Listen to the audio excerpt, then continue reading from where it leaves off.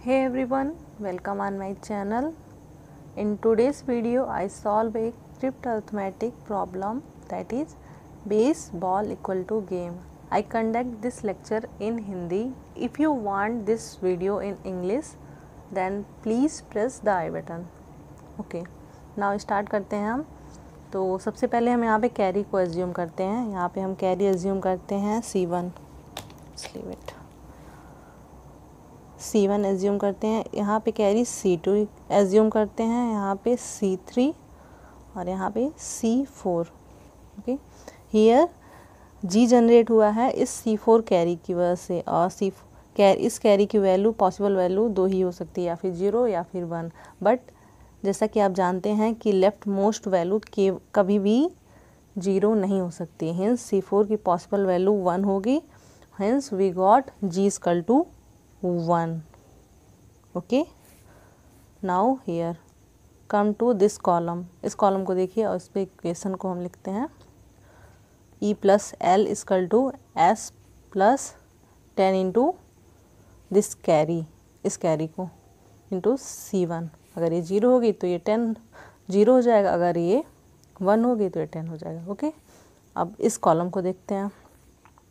यहाँ पे C one ये carry plus S plus L equal to E plus ten into ये जो कैरी जनरेट करेगा सी टू ओके अब हम यहाँ पे एस की वैल्यू इसमें, इस इक्वेशन में, इस एस की वैल्यू इस इक्वेशन में रखते हैं तो हमको मिलता है C one plus E plus L minus ten into C one equal to sorry अभी एक और है एल है। L equal to E plus ten into C two okay यहाँ पे ई है, यहाँ पे कैंसिल आउट हो जाएगा। देन हमको मिलेगा, इसको हम अरेंज करते हैं two L plus C one minus ten into C one equal to ten into C two अब यहाँ पे हम सी वन और सी टू की पॉसिबल वैल्यू देखते हैं। अगर हम सी वन की पॉसिबल वैल्यू एज्यूम कर लेते हैं सी वन और सी टू की possible value one one assume कर लेते हैं तो हमको मिलता है टू ये भी वन है तो प्लस वन और ये भी सी वन की वैल्यू वन एज्यूम किए हैं तो ये टेन हो जाएगा। और सी टू की वैल्यू भी वन एज्यूम किए हैं। तो ये हो जाएगा टेन। तो हमको एल की वैल्यू मिलेगी नाइनटीन टू एल की वैल्यू जिससे हमको एल की वैल्यू एट पॉइंट फाइव मिलेगी। तो ये कभी पॉसिबल ही नहीं है फ्रैक्शन में वैल्यू इसकी आए। इसलिए हम ये एज्यूम एल इजकल टू यहाँ पे जो एज्यूम किए हैं वन वन वो नहीं करेंगे। यहाँ पे हम सेकंड पॉसिबल वैल्यू देखते हैं। ये गलत है। वन वन एज्यूम करना नहीं, इस पर सेटिस्फेक्शन नहीं हो रहा है इस इक्वेशन का। तो अगर हम सी वन की वैल्यू ज़ीरो एज्यूम करें और सी टू की वैल्यू वन एज्यूम करें, तब चेकआउट करते हैं तो क्या होता है? इस इक्वेशन में। तो टू एल सी वन की वैल्यू हम ज़ीरो एज्यूम कर रहे हैं तो ये ज़ीरो हो जाएगा, ये भी ज़ीरो हो जाएगा और ये टेन हो जाएगा। इसकल टू टेन तो हमको एल की वैल्यू फाइव मिल जाएगी ओके तो हमको यहाँ पे एल की वैल्यू फाइव मिल गई। अब इस एल की वैल्यू को ये पहले इक्वेशन में हम पुट करते हैं। तो हमको मिलता है E plus L equal to S okay ये क्योंकि ज़ीरो हो गया है और ये इस एल की वैल्यू फाइव है और इस ई e को इधर रिप्लेस करते हैं तो मिलता है एस माइनस ई और इस एल की वैल्यू फाइव है। तो ये फाइव हो जाएगी। तो हमको एक ये इक्वेशन मिलता है।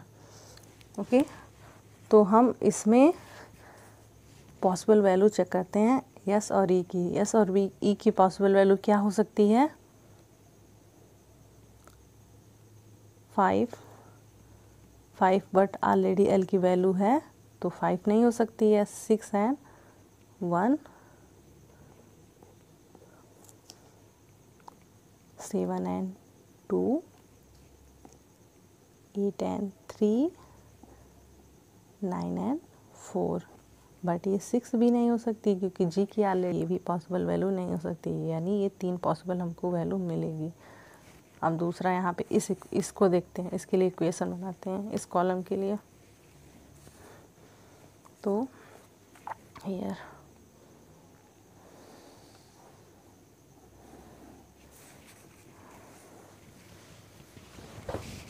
two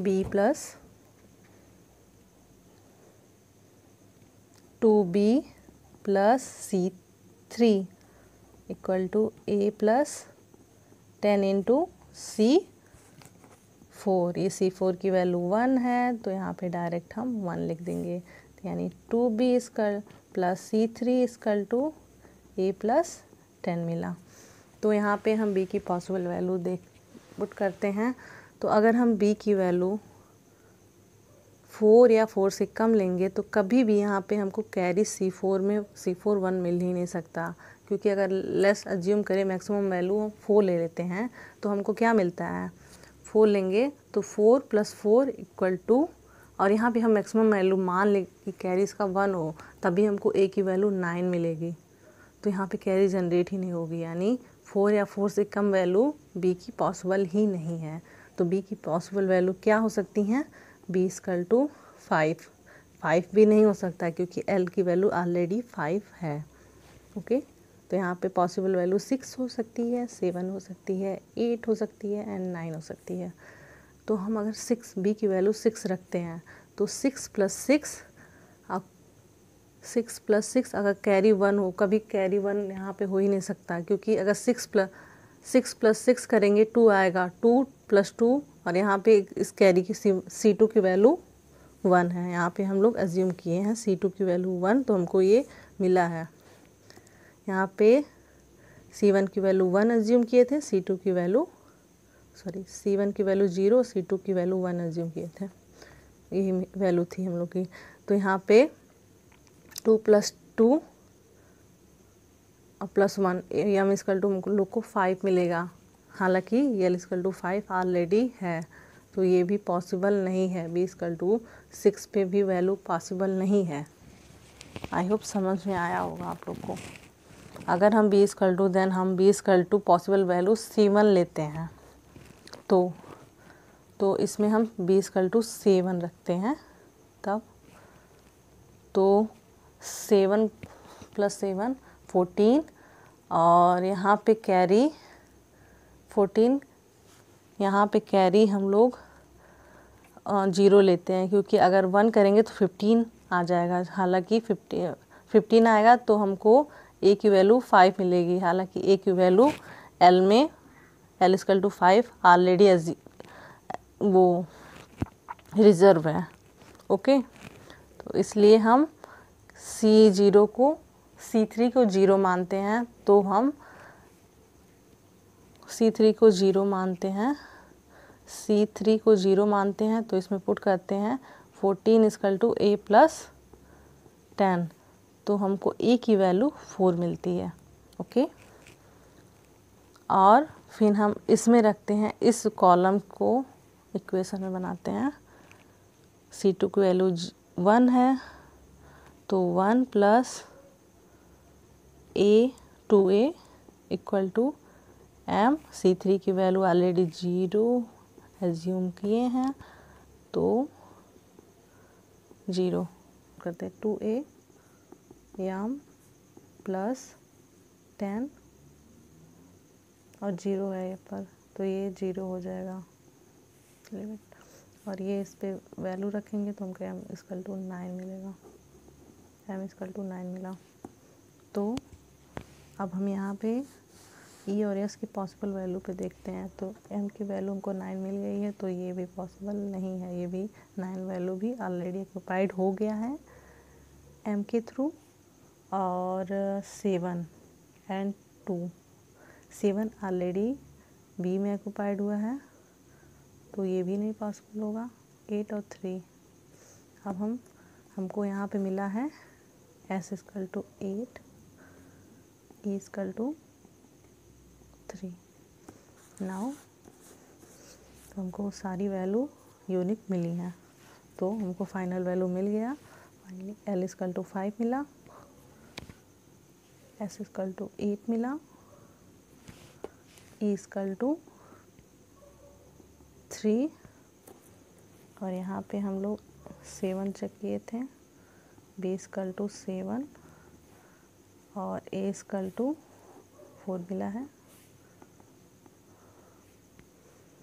M equal to nine okay so I hope आप लोग को समझ में आया होगा। सो so, बाय